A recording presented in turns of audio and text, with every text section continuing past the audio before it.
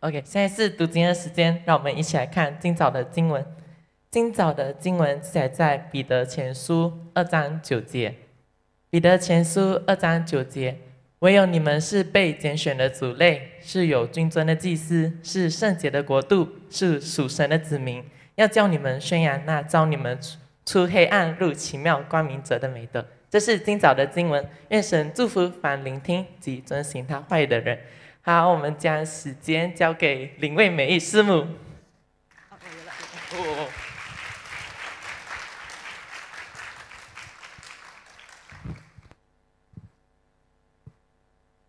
好，现在我们是分享神话语的时间，让我们一起同心祷告。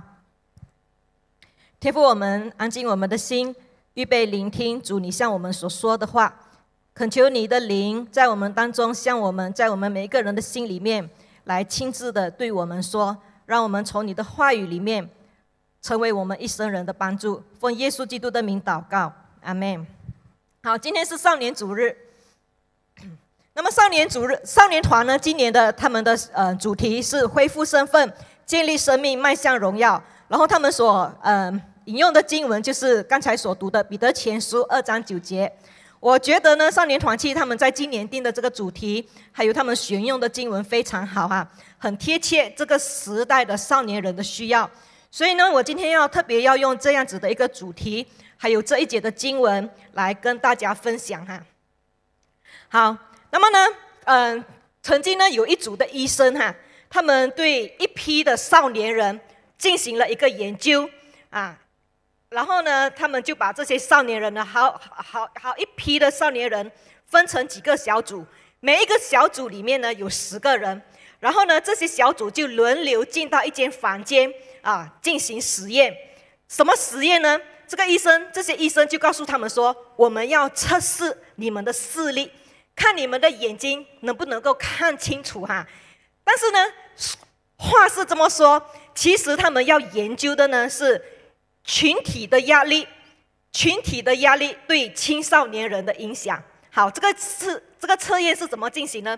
首先呢，这些人进到房间之后呢，医生就告诉他们说，这个房间里面，我这里呢有好一些的卡片。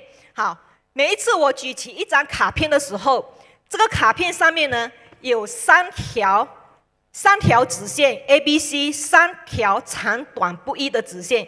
每一张纸卡的这个直线呢，它的长短的顺序都不一样的哈。所以当我指 A、B 或者是 C 的时候，哈，我只在 A、B、C，哈。如果我只在那一条最长的线的时候，你们就举手，听得明白吗？好，好，这十个人哈，大家都听明白之后呢，这个医生呢就开始了哈。第第一张图片是这个，他就举向 A。哦，有灯笼吗？是灯笼，这个手电筒。A，哈，举向 A 的时候呢，你发你你猜什么事情发生？A 的时候，其实呢，在他们进行呃这个试验之前哈，医生跟其中九个人八嘎好了的啊，八嘎什么呢？就是说呢，其实在这十个人里面，只有一个人是真正是要被测试的。只有一个人是要被试验的，其他九个人是八个好了的。医生跟他们说，在这三条线里面，你们不要举最长的，你们要举第二长的，哈。意思说，只有那个被实验的人是蒙在鼓里的。结果呢，当医生举下 A 的时候呢，其他九个人都很合作的举起他们的手。那么你猜，那一个被蒙在鼓里的人他什么反应？他一定觉得很奇怪，很错愕。而且呢，很迷惑的看向其他人，为什么他们举手？明明是哪一条比较长，B 比较长，但是他心里面觉得很奇怪，为什么他们 A 会看成 A 比较长呢？所以呢，当他看着全部人都举手的时候，他也很小心翼翼的举起他的手。哈，那么这个试验经过好多轮之后呢，好，每一轮都是呢，这九个人举起第二个第二条。第二条比较长的，所以这个被试验的人呢，一次又一次的，一次又一次的，不敢举最长的，因为全部人都举第二长的啊，所以呢，他还是一而再，再而三。他明明看见嗯最长的线，但是他不敢举，都跟他们举，做出一样的选择。好，其实呢，在这一批的试验里面呢，不是这一个人罢了哈，做出这样子的选择，其他还有七十五八仙的少年人，他们也同样做出跟自己的想法。不一样的选择，就是符符合其他人的选择，符合其他九个人的选择。好，所以七十五八仙哈，意思说有一百个人里面有七十五个人，他们不敢做出对的决定，他们看到对的答案，可是他们不敢举手。意思说呢，在这个试验就告诉我们说，群体的压力呢会让人妥协，特别在青少年人当中呢。更加容易妥协，有七十五八千的人他们会妥协，啊，他们不敢表达自己的立场，不敢表达自己的意见。虽然他们明明知道他们的选择是错的，但是呢，为了怕被人家嘲笑，哈，所以有些受访者呢，后有些被测试的人呢，后来后来经过访问的时候，他们就很坦诚的表示，哈，他说，为什么我会做出跟他们一样的选择呢？是因为我害怕被别人取笑。我不敢做跟别人不一样的事情，哈，所以群体的压力，特别在青少年人当中啊，会让他们妥协，哈。好，所以呢，青少年人呢，他们常常都会觉得我要跟别人一样。少年人说我们都一样，他们都希望我们跟别人是一样的。为什么会有这样子的现象呢？我们来看一下哈。好，青少年少年人呢，他少年人哈。少年人呢，他们是介于儿童期还有成年期之间的中间的那一个阶段，介于儿童期还有成人期的一个阶段，大概是中学时期了哈。今天我们看到少年人中学时期这一段的时间，这一段时间呢，他们呢是迈向从慢慢变独立，慢慢独立，从本来呢依依赖父母、依赖家庭，然后呢他们走向独立，变成。跟社会的交往会越来越广泛，啊，扩张了他们的社交的这个呃范围哈。所以，当他们跟社交的这个连接更广泛之后呢，他们受到他们同辈还有社会的影响会越来越大，哈，越来越大。同辈还有社会的影响越来越大。所以呢，在这段时期呢，你会发现少年人哈，他们很向外的，有没有？他们喜欢跟朋友在一起的。待在家的时间，比待在外面的外待在外面的时间比待在家里更，呃，怎么讲更多啊？所以你有没有跟你的孩子说搬出去住好了？以前我们少年团去的时候，常常往教会跑哈，后家人就会讲你搬开来我弄短啊，因为呢这一段时间他们需要朋友哈，朋友对他们来讲比家人更重要。我忘记按了，嗯。看重朋友过于家人，朋友对他们来说很重要哈，所以呢，他们会互互相影响，他们也很在乎朋友或者是这个社会的人对他们的看法。如果一个少年人哈，他的自信心不够，心理建设不够强大，或者是呢，他的呃，他有自卑感的话，他更加容易受到别人的影响啊，他更加容易去符合。符合别人的要求，要跟别人一样，好，所以你会发现有时候呢，少年人呢，他们喜欢在打扮啊、讲话的 pattern 啊、啊看的东西呀，好，都会互相影响的，都会喜欢跟别人一样的，有发现吗？没有啊，我记得，我记得我以前做少年人的时候啊，呃，那那时候有人买了这个 Palace Palace Jazz 的鞋子布鞋。记得吗？现在的人不知道，Plus Jazz 的布鞋穿，一整个少年团期就好多人买这个少这种的鞋子穿哈。好，所以因为要跟别人一样哈。好，如果跟别人不一样的话呢，就怕哎呦，他们看我不一样，很怪、很奇怪的人哈。所以呢，他们要跟别人一样。好，这个这个问题呢，在少年人当中，我们要特别去正视的哈。如果，所以我们常常讲，哎呦，我的朋友哦，不是我的朋友，我的孩子啊，唱啊哟。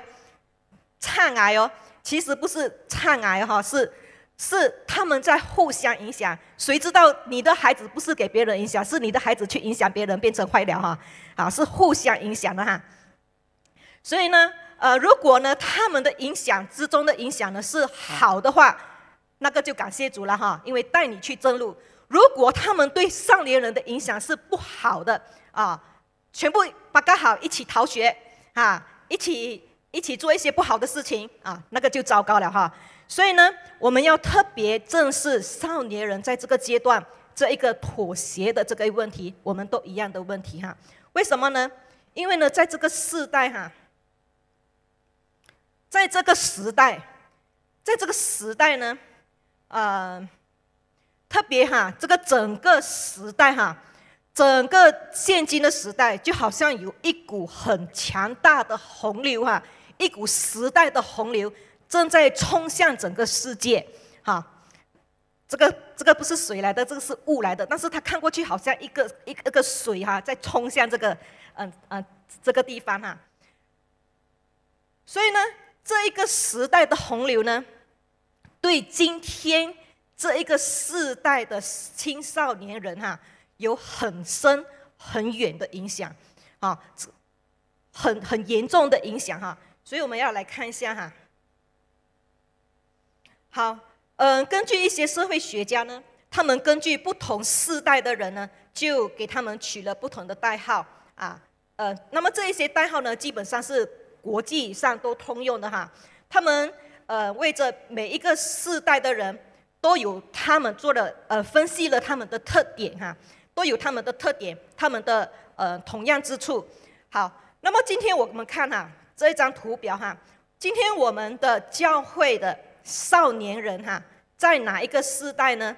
特别在 Y 世代，还有 Z 世代哈，不是，啊不是，是 Z 世代，还有 Alpha 世代。啊，我我我我写错了哈，华语的我写错了，应该是 Z 啊，不是 Y 哈，是是 Z 啊，紫色的那个是 Z 世代，我打错了哈。英文的是对的，好。今天的少年人哈，这一帮的少年人，因为他们的出生日期是在这两个阶段的啊，所以我们要特别看这两个世代的人，他们的特点是什么哈？所以你等下你就可以了解哈，他们这个世代、这个时代哈，对他们的冲击是有多么的大。好，我们先来看 Z 世代哈。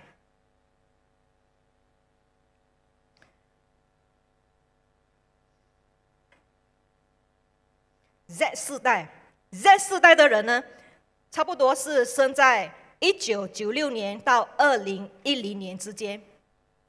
一九九六到二零一零，所以如果你在这一差不多了哈，没有一定是这个年份，差不多是在这个一个嗯的阶段里面哈。差不多现在的人 Z 世代人是十三岁到二十六岁，所以你二十六岁以下的到十三岁，你都是在 Z 世代，所以。大部分的人哈都是在 Z 世代少年团契、青年团契啊。好，Z 世代的人呢，他们有什么特征呢？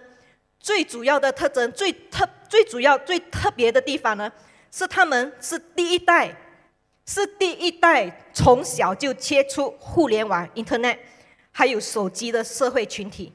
第一代哈是从小开始，我们是长大了之后才开始接触，他们是一出生。就跟互联网一起长大的啊，一出生的时候就已经接触了 Internet 了，互联网啊，这个手机这些的装备哈。然后呢，他们很多呢都是从小玩着父母的手提电话一起来长大的，差不多呢十岁，平均来说呢，平均来说他们十岁就拥有自己的电话。现在差不多九十九八千的人都有自己的电话，有对吗？哈，差不多九十九八千的人哈，他们都有一部手智能手机在他们的手上，在所以呢，对他们来说，这个互联网哈，线上的生活就是他们生活的一部分，上网的生活就是他们生活的一部分啊。以前呢，以前不是的，我们线上生活和线下生活是分得很很清楚的。以前我们要上网，我们要怎样拔掉电话线，然后。插进那个 modem 里面，然后要听到嘚嘚嘚嘚嘚嘚嘚嘚，滴叽咕，哈，然后接不到还要再听一次，接不到还要再听一次，才后来才能够 connect 到，你才能够上网哈。现在不是了，他们一打开手机，啊，从小一打开手机就可以，呃，就是在线上生活了，啊，所以呢，根据他们的调调查哈，他们每天会花差不多六到九个小时在线上，特别在这个社交社交媒体里面，什么社交媒体里面，YouTube 啦，TikTok 啦，什么抖音啦，什么 I I I G 呀，I G 呀，还有什么小红书啊，还有。还有什么啊？类似差不多这样子的东西我都不懂啊。Facebook 很少了是吗？我不知道，因为我每天都在用 Facebook，Facebook 罢了哈。所以我是比较啊老古板的哈。好，所以他们花六到九个小时在使用社交媒体哈。所以智慧手机呢，smartphone 对他们来说不只是一个工具，对他们来说是他们他们生活里面很重要的一个东西来的，因为就是他们的生活。啊，只要一部手机在手，他们就可以全世界走透透。所以手机和互联网对他们来说是他们的标志。好，现在我们来看 Alpha 时代。Alpha 时代呢，基本上我们今天的少年人，才 Alpha 时代的人才刚刚要进到少年团去。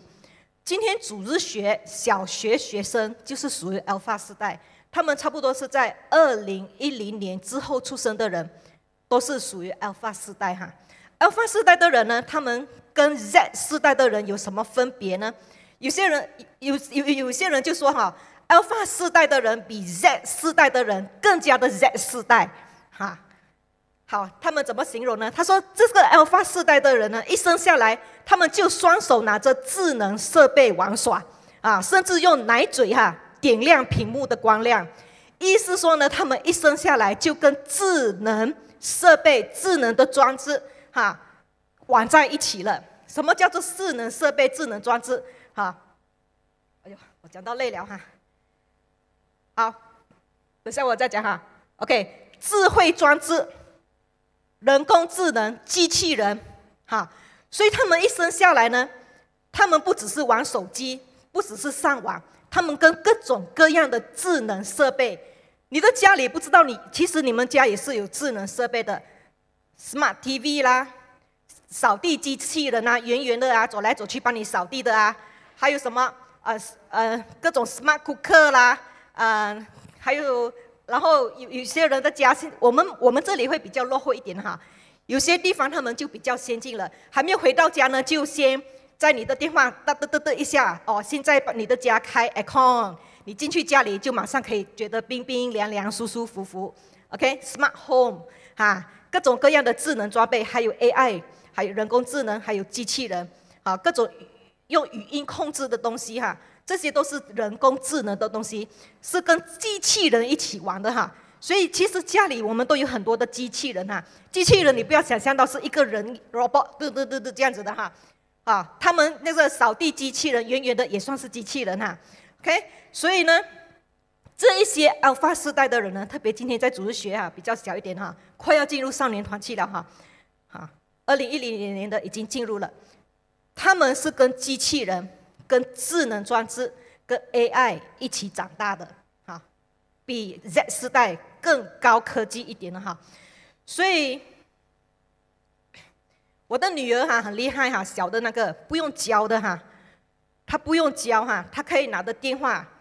然后我我们我们找东西是打字吗？对不对？打字要 search 什么东西？打字，她不会，以前不会打，她就会录音。呃，Talking Tom，Talking Tom，有没有一个猫会讲话的？打它一下，它会动的是吗？Talking Tom，你们没有玩这个哈？啊，他就会找，他不会，然后那个他他不打，不懂得打 Talking Tom，他就讲 Talking Tom，哇，然后就会出现那个，他就可以按了就可以，他他已经都会用了哈。所以他很他用电话呢，有时候比我们比我妈妈更厉害。有些时有时候我不懂他从哪里找出来的这些东西哈，他会用哈，他会做各种各样的东西，我我也不懂怎么去哪里找的哈。所以他们不用学，他们都会了的。好，这个 Alpha 时代的人呢，我们注意看哈，还有呢，他们说这一些这一帮的人是善于利用元宇宙还有其他虚拟空间的时代，已经进入元宇宙了啊。我们这里还没有，在外国哈，好像在韩国，他们小学阶段就已经用 VR，呃开始有有用 VR 上课哈，上课的时候有有在 VR 这个装置这个这个这个这个东西的啊上课哈，所以这一这一批的人呢更加高科技了。然后呢，一些神经科学家他们认为呢，这个 Alpha 一代的人呢，他们跟前几代的人有很不一样。他们学习是透过什么样的方式学习呢？他们使用喜欢观看短视频、看影片来学习。如果书给他们看的话呢，他们不喜欢看有文字的东西、图像的的东西，他们不喜欢看。他们喜欢看动画的东西，动来会动的。好，所以你看我们现在的报告啊，家事报告，我们都没有这样子报告的，因为人喜欢动动画的。所以有很多 animation 的东西啊，还要有人，呃，这个星期有森林之夜，还要有人在那边这样子、这样子、这样子的报告，啊，所以影片都不一样了哈。所以呢，他们说呢，可能呢，在往后的将来呢，各行各业，老师啦、看护啦，啊，各行各业会被机器人取代，啊，机器人。所以 Alpha 时代的人是跟机器人生活在一起的时代哈，啊。这是他们的特点，所以我们来看一下哈，这个 Z 世代的人跟 Alpha 世代的人呢，就是这世代的少年人，还有即将要进入少年时期的这些儿童哈，他们是受互联网还有手机影响，他们除了这两个，还有人工智能，还有机器，就是机器人、元宇宙啊这样子的东西影响他们这哈。好，所以从从他们定义。他们在解释 Z 世代这一代的这一代的少年人的时候呢，我们就会发现哈，这一代的少年人呢，还有他们往后一代的人呢，他们都被这整个整个大趋势、整个世世界哈影响着他们，笼罩着他们，呃，让他们浸透在这样子我说高科技的时代里面。我我把这些东西形容成高科技的东西哈，他们都浸透在这样子高科技的时代里面哈，他们没有办法避免的哈，因为整个时代的趋势就是这样子走的，整个这个时代的洪流就是这样子冲着冲着这一个时代时代的人哈，所以我当我们看哈，你去上网找的时候，你会发现哈，高科技确实有好多很方便很好哈，有它的好处。啊，他们都说很方便，最主要的就是很方便，让人少劳动、少做工、少用头脑啊，呃呃，轻轻松松的过日子哈。但是呢，你知道吗？高科技呢，对我们这一代的青少年人呢，甚至对我们自己来说呢，是特别对他们的生命呢有很大的影响哈，非常非常严重的影响，是一个危机来的哈。如果不懂得拿捏的话，不懂得怎么去。抵抗这样子世界给他们的冲击，是在世界的人说你们都要一样，要沉浸在这样子高科技里面。如果不懂得抵挡的话呢，就会被冲走哈。所以我们来看一下这些高科技会给他们带来什么样的危机哈。最主要的呢，我觉得哈，我是从人的角度来看哈。如果你上网看的话，他们会告你是从从经济啦，从呃这个。呃，社交啊，各种各样的方面来看，今天呢，我特别要从人的角度来看哈，神所创造的人哈，对我来说呢，我觉得这个高科技呢，它所带来的危机最严重的就是它是一步一步、慢慢的哈，不是一下子，它是慢慢的在腐蚀、在侵蚀、在破坏神所创造的人，啊，破坏扭曲神所创造的那种形象和样式，哈，是这个哈。好，我们第一个来看一下。破坏自身的健康，心理的健康哈。第一个就是心理的健康，你知道吗？呃，他们发现呢，根据他们研究发现哈，呃，你呃这一这个，呃这个从小哈从小接触这些科技产品的人呢，从小就开始接触科技产品的人呢，他们的孤独感哈会比较高。什么是孤独感？就是他们会觉得。很孤单啦，没有了朋友啦，没有人陪伴我啦，啊，我很寂寞啦，这样子孤独感哈，好，他们的孤独感会比较高，好。然后呢，如果他长期觉得孤独的话呢，他就会引发他的忧郁症、抑郁症，好，呃，忧郁症啊哈，心理的问题，心理健康的问题，所以有很多的证据表明呢，现在的儿童哈，你在小学你就会发现，小学生好多人都有忧郁症了。小学老师有对吗？没有对哈，有有对吗？有对呀哈，小学生都有忧郁症了哈，小学啊，我记得哈有我我我读好几年前哈，我身边的一个一个人哈。他在大概六年六年级的时候啊，也是有忧郁症的哈。现在呢，我觉得更加更加严重哈。小学，我们刚蹦的地方可能还少一点哈。你可能你去新加坡啊这些城市的地方，它就会更高一点哈。好，给人心理的影心带来心理健康的影响哈。那么呢，如果他有忧郁症、孤独感很严重的时候呢，他就他就增加了跟呃他跟别人相处的那个那个。呃，怎么讲呢？就更少跟别人的跟别人相处，因为不喜欢跟别人嗯在一起嘛，不跟不喜欢跟别人交际，那么呢就会再增加他的孤独感哈。你明白那个循环吗？他已经有这个孤独感了，他又不喜欢跟人家掺在一起，那么呢这个孤独感就会越来越严重，越来越严重哈。后来呢就让他整个人格失常哈。所以现在的人为什么会有这么多心理的病哈？啊，其中一个原因就是科技哈，其中一个哈。带来这个科技好，另外我们看就是心呃生理的健康，生理的健康呢，我们常常讲哈，我我妈妈还是我自己哈，都跟我女儿讲，不要看那么多电话，眼睛会坏。我们都说电话不要看那么多，眼睛会坏；电脑不要看这么多，眼睛会坏。其实不只是眼睛会坏这个这么简单哈，还有一些辐射的问题，我们不知道啊，它的呃辐射的问题。但是呢，我比较关注的就是这个哈，科技呢，刚才我说哈。科技，我们看上去呢，哇，我们可以跟人家有很好、很频密、很频繁的交流，因为很多的社交社交媒体嘛，好，我们在 WeChat 啦，在 WhatsApp 啦，在 Telegram 啦，啊，各种各样的这些东西跟人家有交流。可是呢，这一种的交流呢，是你你你贴图，呃，发一个 emoji 啊，或者是你你发信息这样子哈，很少讲话的。其实呢，他们发现呢。这样子的交流呢，它不会刺激你的大脑的，哈，它不会正向的刺激你的大脑。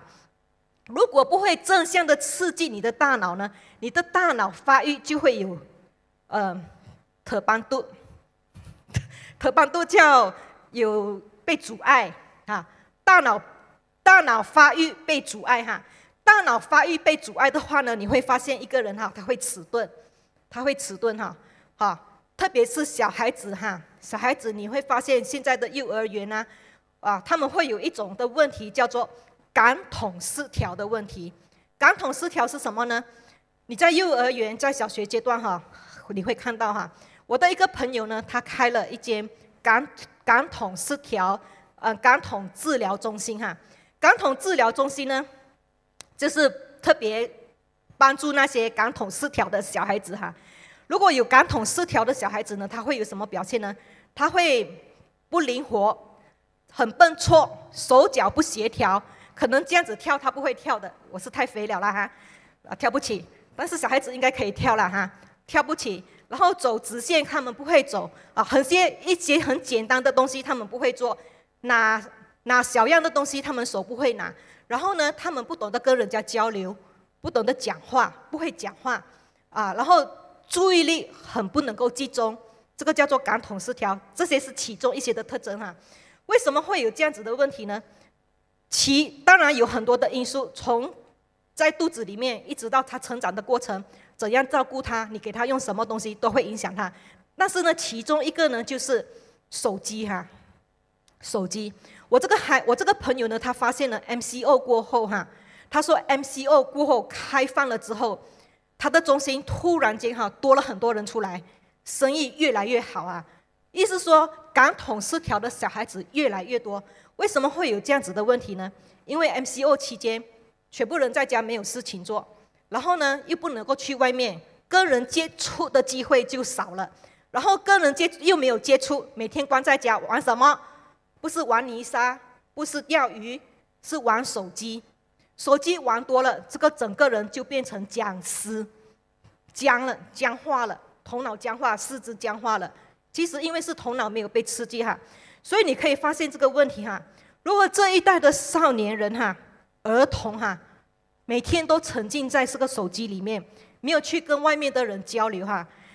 如果他们这一个感统失调的问题呢，没有被治疗的话，十二岁过后就定型了。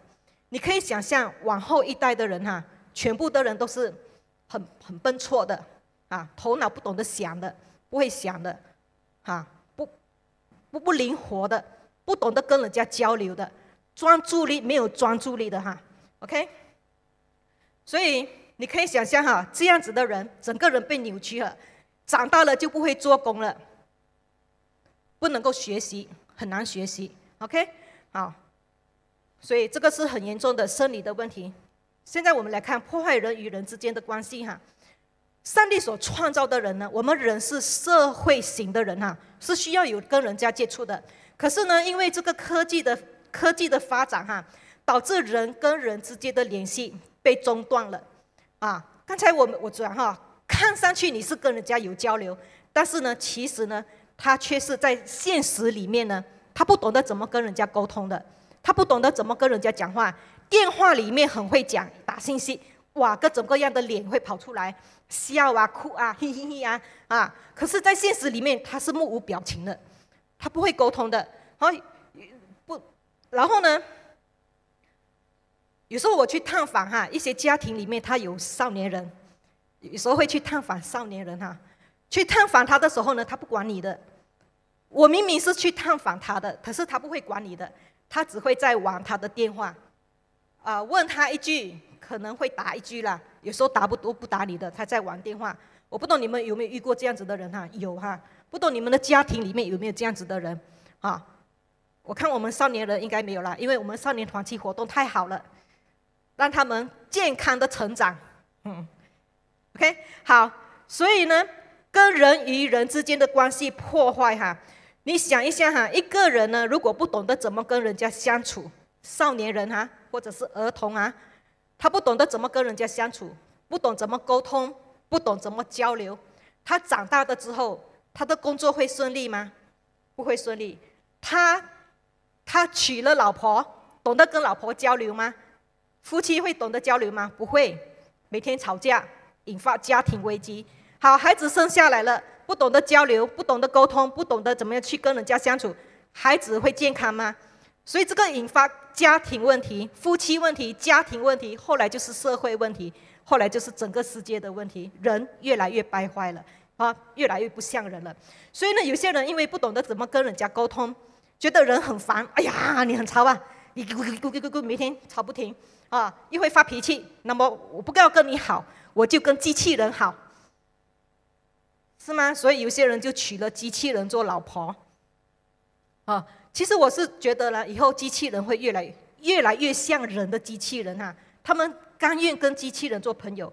不要讲机器人哈，你会发现吗？有些人他们跟宠物狗猫还好过跟人，对不对？但是狗和猫还是狗和猫。他找一个比较像人的机器人还更好，所以呢，跟机器人结婚哈。所以我们可以想象哈，那个整个的社会的问题哈。好，更严重的呢，就是破坏人跟神之间的关系哈。你想一下哈，青少年人哈，因为沉浸在这个呃这种社社交媒体里面，然后呢又喜欢打游戏机，打不停哈，打不停，然后呢又喜欢看短视频。我觉得呢，青少年人你们应该不会上网的时候去找资料啊、看文章啊、研究一些书啊，很少吧？哈，通常你们是做什么？看短视频，TikTok，TikTok 是吗？TikTok 就是抖音啊，对啊，一样的东西来的哈，不一样哈啊，看 TikTok，看抖音啊，短视频，Facebook 里面还有那个什么，我我只知道 Facebook 啊，Facebook 里面有一个是 Watch 是吗？给你看短短的影片的。啊，扫来扫去，你知道每天这样子滑，没有天这样子滑的话呢，然后又不喜欢看书啊，它就会影响你专注力。一个人他不能专注的话啊，他会读圣经吗？不会的，他不能够专注那边读圣经的。他会学习神的话吗？会安静心下来跟神交通、祷告、读经吗？很难的，他不能够专心，因为我们跟神交通啊，我们要安静心。啊，读经祷告需要默想的，需要专注的，所以你会发现呢，现在的主日学学生哈，你教主日学教久了，教十年二十年，你会发现现在的学生很难教，他们不喜欢，不喜欢学习神的话语。所以从昨天的圣经考试呢，我会发现哈，年长的他们成绩很好啊，少年人，我不是说你们不好啊，会比较差一点啊。可能也是因为这是最近是在考试的期间，但是从平不是不只是这个，从平时的表现会发现呢，青少年人主日学更长，他们不会静静的坐那边听老师讲故事，他们要看视频，会动的哈，所以老师要花好多时间胸口碎大石表演给他们看，才会抓住他们的注意，他们才会静才会坐在那边听，他们不能够静。啊，不能够静，所以现在的人都不能够静，他们要动。所以呢，如果像我这样子去教主日学的话，我就惨了。啊，你你你放这个哈 PowerPoint 啊，还要美美的，还要会动的，才能够吸引他们。所以呢，今天你看我们主日崇拜也是要做好多 PowerPoint 啊，给你们看啊。你知道我去嗯这个姐妹会讲到完很轻松的，不用准备的，因为这些安迪啊，你不用 PowerPoint 的，你你你讲到。没有表情都好玩，他们都可以很专心的坐住那边听的。为什么？因为他们受这些东西影响很少，啊，他们专注力很好的，啊，有些会打瞌睡，因为年纪大了，啊，不，那个是可以了解的哈。但是呢，他们的专注力比起儿童、比起少年人好很多，好很多哈。然后呢，又不喜欢学习圣经，不喜欢，不能够好好的祷告，怎么办？怎么认识这一位神呢？不认识这一位神，怎么跟神建立关系呢？啊，所以这个是他的危机哈。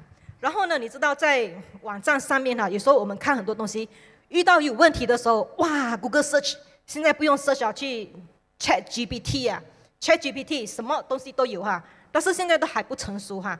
好，你可以找各种各样的资料，你找到各种各样的资料又怎么样呢？如果我们真理的根基不稳的话，不懂得分辨什么是真，什么是假，什么是对，什么是不对的，所以就很多的这些影响哈，资讯的影响我们走偏路，走偏差的路，所以好多的人呢，在网站上面呢，嗯，接触了异端之后呢，就是这样子被带走了啊，这个对我们的救恩啊，有有很大的危机来的哈，所以要根基不稳哈。小孩子从小不懂得、不认识圣的话，根基没有，哈，就很容易随风摇摆，很容易被影响哈。所以这个是我们要注意的。好，更严重的呢，就是失去救恩哈。科技最让人担忧的是，让人呢，人哈，特别是现今时代的人，慢慢的在依赖科技哈。你想一下哈，这些都是科技哈，icon，我们没有 icon，没有灯，没有没有 smart cooker。你还能够生存吗？现在的人煮菜哈，不不需要开火点火的哈，全部东西丢在一个煮菜机器人里面哈，他就帮你煮一道出来。你要三爆，他帮你煮三爆；你辣椒丢进去啊，东西全部丢进去，他就帮你煮好好的。你要蒸鱼啊，你要炒菜啊，全部丢进去啊。有没有看过那个东西？那个叫什么了啊？我都忘记了啊。他就帮你煮好好的，很方便。不会煮菜的人啊，他都会煮啊啊。所以呢，慢慢的在依赖着他。然后呢，慢慢的被他摆布，好，所以今天如果拿掉了我这个呃 Internet 哈线中断了哈，可以生存吗？一天可以，十天呢？可以哈，OK，今天啊，他们说可以啊，把家里的线拔掉，手机收收一个星期吧，啊，今天手机收一个星期，好，它是让人呢哦，电子游戏不要打。一个星期啊，OK，然后呢，觉得哇，好方便，好方便，好方便。一没有了这些东西就不方便了，你就不能了，不能够生存了，哈，不懂得怎么去生存。所以呢，这个整个科技呢是慢慢的、慢慢的，它一步一步让科技还有人整合在一起。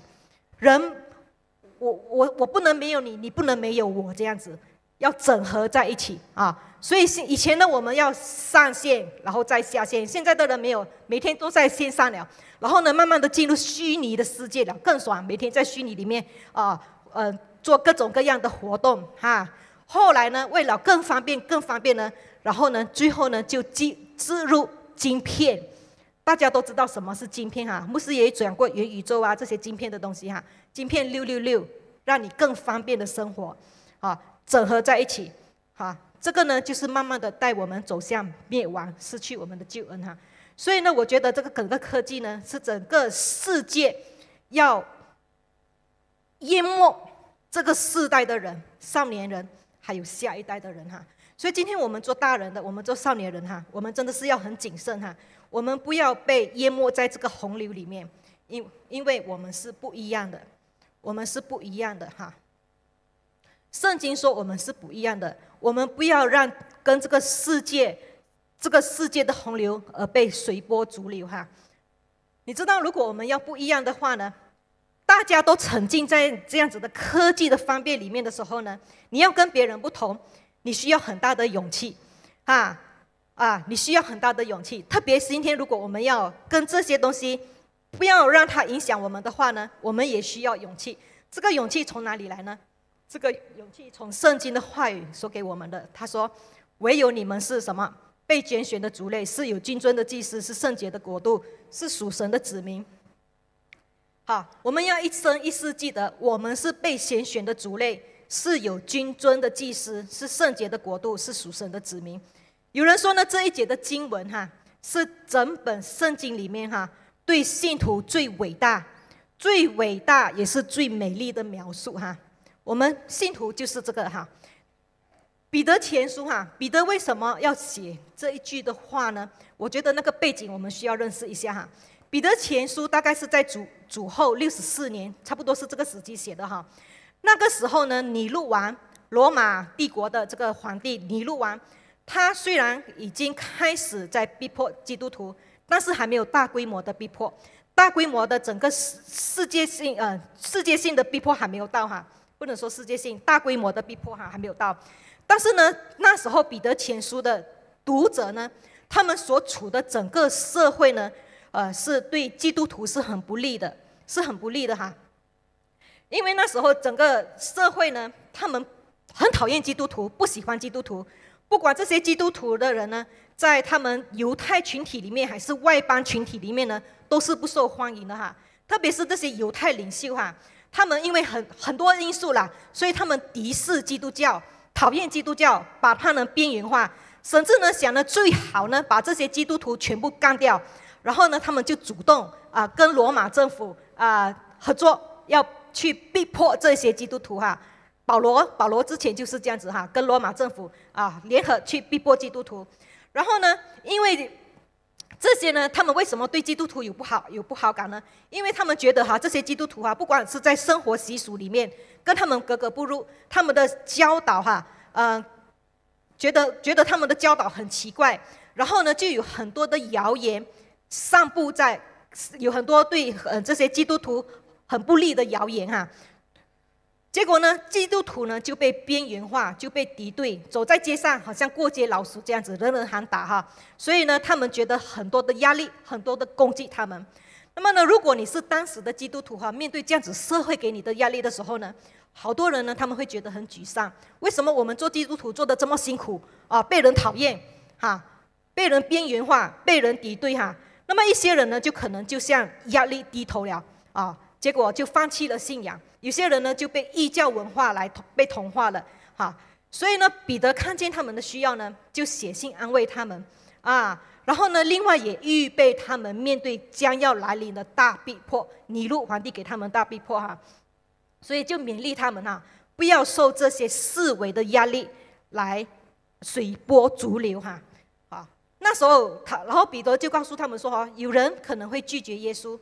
有人会拒绝信靠耶稣，也有人会被耶稣基督绊倒。但是你们基督徒不一样，啊，你们已是被拣选的，你们是被上帝拣选的，是已经被归在耶稣基督名下的，是有金尊的祭司。我们今天所服侍的是那一位君王耶稣基督，我们的身份是尊贵的。我们基督徒虽然外面世界的人讨厌我们。但是我们在神的眼中，我们还是尊贵的。我们是特别给被神选的。我们是圣洁的国度。我们不属于这个世界。我们已经从这个世界被分别出来，归给耶稣基督的。啊，我们是属神的子民，我们是属于上帝的，是跟上帝有特别关系的。我们是不一样的一个群体。啊，我们跟世界这个整个世界的人是不一样的。好，这句话啊，总结来说哈，就是我们是不一样的，我们是特别蒙神拣选的，我们是有特别身份的，是属于上帝，被分别出来，属于上帝的，不属于这个世界的。哈，所以这个彼得就是这样子的安慰他们哈。所以各位弟兄姐妹哈，今天呢，我们也不属于这个世界，我们也是被拣选的族类。我们也是君尊的祭司，我们是圣洁的国度，我们是属神的子民。既然我们是属神的子民，我们就要跟这个世界被分别出来哈。我们要被跟这个世界分别出来，不要让这些科技的所带来的方便来影响神所创造我们这个有尊贵身份、神拣选的人。好，OK。所以各位弟兄姐妹哈。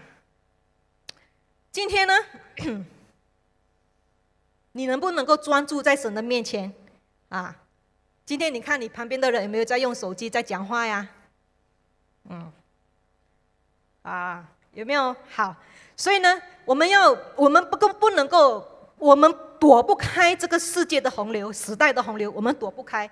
但是呢，我们要把这个破坏呢减到最低哈，把这个破坏减到最低，不要让这些科技来破坏我们。所以我们要怎么做，小朋友？要做什么？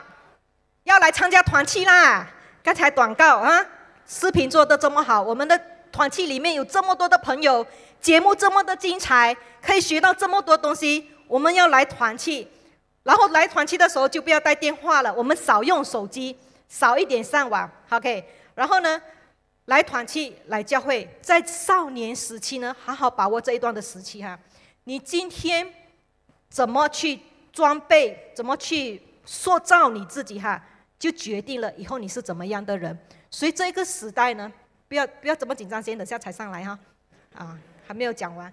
所以这个时代呢，是你们装备自己的时间，建立你成为一个成熟属神的子民，有有荣耀神神荣耀形象的人哈。所以少一点玩手机，多一点读经祷告，啊，回。回到老本行啊，多一点读经祷告就对了。好，多读多祷告，好，让你的信仰有根有基。那么呢，你就不会随风摇摆，不会被人家影响。然后你要确定你自己是谁哈，你要确定你是谁。OK，你不属于这个世界，不需要被世界的人影响你哈。你的朋友会笑你，哎呀，这么老古董啊！啊，人家今天网打 game 都打到哪里去了，你还不会打？有朋友笑你吗，林静？没有哈，OK。所以，所以呢，有时候我们从这些东西分别出来的时候呢，你要顺服真道。现代的人呢，不是因为你你做了坏事，以前旧约的人是因为不顺服神的律法而被神惩罚，哈，被神惩罚、刑罚、咒诅。现代的人呢，是因为你要遵行神的道而面对逼迫。面对迫害，面对别人的指指点点哈，所以各位弟兄姐妹哈，今天可能你还感受不到那种科技可能会对你有一些负面的影响，但是你还没有面对那种科技所带给你的那种压迫逼迫。以后我们不知道哈，以后我们但是我们可以预测以后的世界是怎么样的。当你从这些东西分别出来的时候，你为了顺服真道，你为了站稳你基督徒的立场。可能你会被人家嘲笑，被人指点，甚至是教会里面的人哈，教会里面的人都可能取笑你哈，都可能说你哎呀这么极端哈。但是呢，你千万要记得哈，你是谁哈？你要站稳你的立场，不要随波逐流。好，他说世界上呢最大的恐惧呢，就是你在乎别人的看法啊，在乎别人的看法。当你不惧怕人群的那一刻，你就不再是一只羊，你是什么？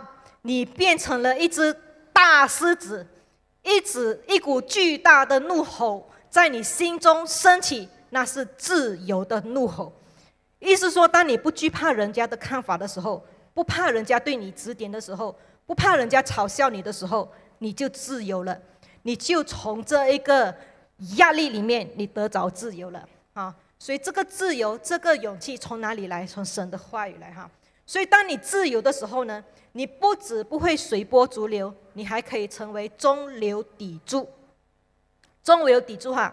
好，这一节经文哈，它后半句他说什么呢？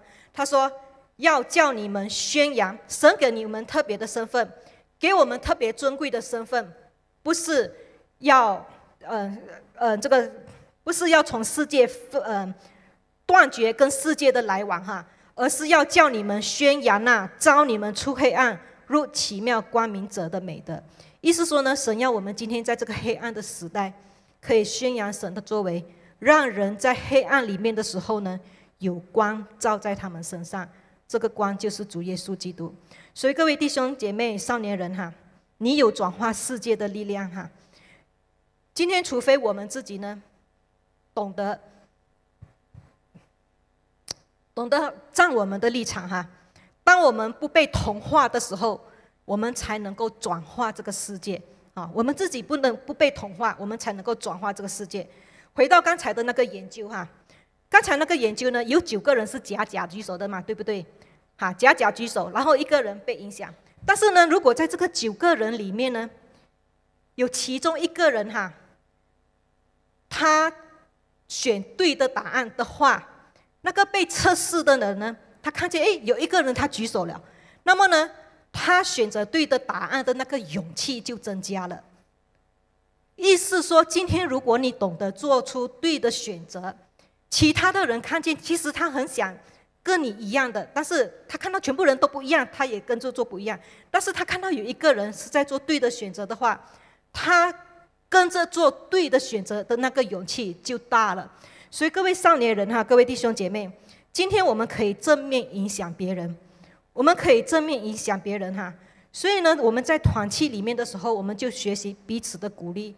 啊，我有时候看见少年人哈，昨天也是哈，一练歌练到一半停了下来的时候，哦，电话又拿出来，丢丢丢丢丢丢丢丢丢丢，啊，无时无刻电话不在手上哈，所以我们要学哈，电话收起来了，不要用那么多，OK，我们多跟人家交流，多做一点运动，刺激你的头脑，让你变成更聪明的人哈，所以我们可以正面影响别人，特别帮助那些已经沉沦在。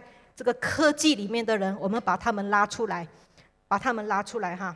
所以呢，就算他们笑你不用紧哈，今天他们嘲笑你，明天他们对你刮目相看，他们会钦佩你。哇，你这么勇敢哈，OK？所以少年人，你们要说我们不一样，来，嘿，来再来，一二三。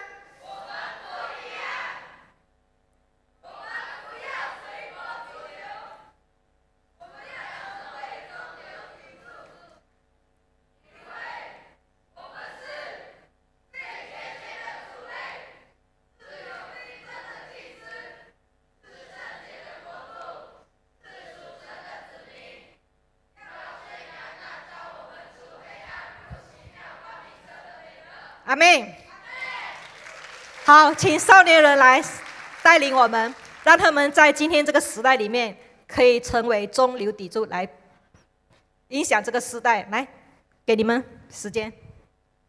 所以我们少年人要成为被君呃被拣选的族类，是君尊的是祭司，是圣洁的国度，国度是属神的子民。我们以这首诗歌来作为结束。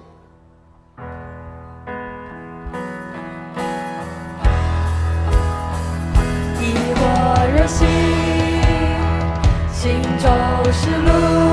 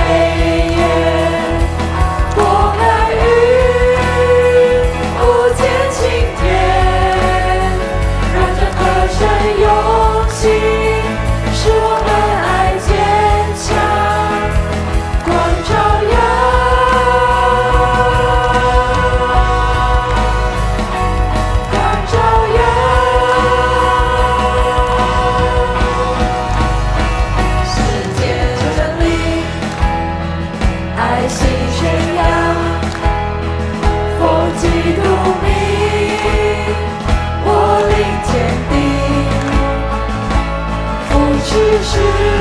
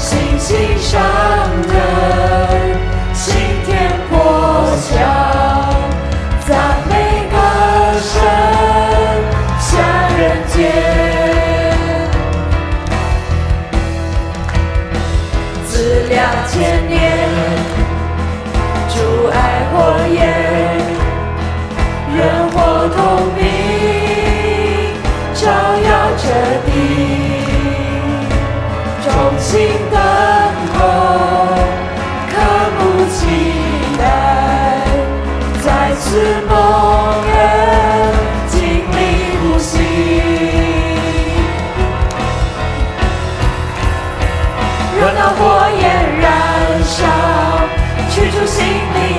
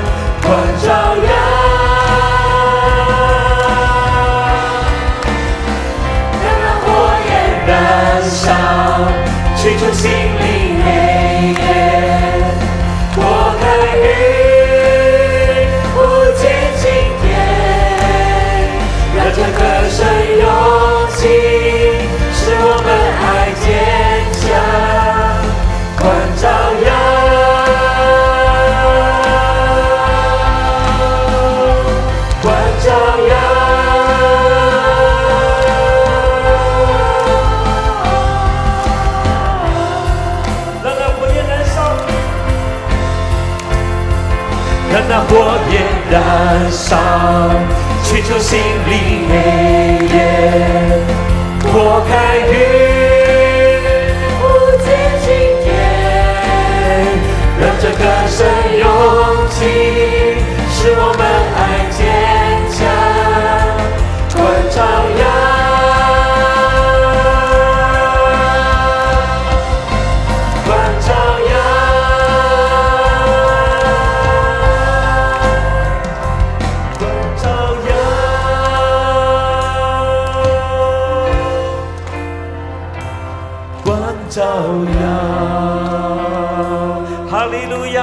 好不好？我们一起举起手，为我们的少年人来祝福祷告，好不好？这时候我们一起举手，为着你家中的少年人，为着你在教会里面的少年人，让我们奉耶稣的名为他们这个时代来祝福，奉耶稣的名宣告，他们要脱离这时代一切黑暗的缠缠绕，一切黑暗的权势的攻击，让他们在教会被神兴起，成为改变这时代的少年人，哦，成为彰显神荣耀的少年人，好不好？这时候我们一起开口来祷告。哦，是的，主啊，我们这时候奉耶稣基督的名，我们特别为着我们这个时代的少年人来祷告。神啊，我们奉耶稣的名宣告，主啊，这世界纵使纵使呃，即使这世界呃充满着弥漫的黑云，呃笼罩着这时代少年人，但是我们奉耶稣的名宣告，这一群有真理的少年人，神啊，他们要突破一切黑暗，他们要突破这时代的洪流，他们要奉耶稣的名，将成为中流砥柱，实践真理，成为改变幕后时代的青少年。主啊，我们奉耶稣的名为着这些少年人来祷告，我们奉耶稣的名宣告，他们是被拣选的族类，是有君尊的祭司，是圣洁的国度，是属神的子民。神让你选召他们，然后召他们出黑暗，入奇妙者光明的美德。他们要成为宣扬真理、宣扬救恩、宣扬福音的这一代。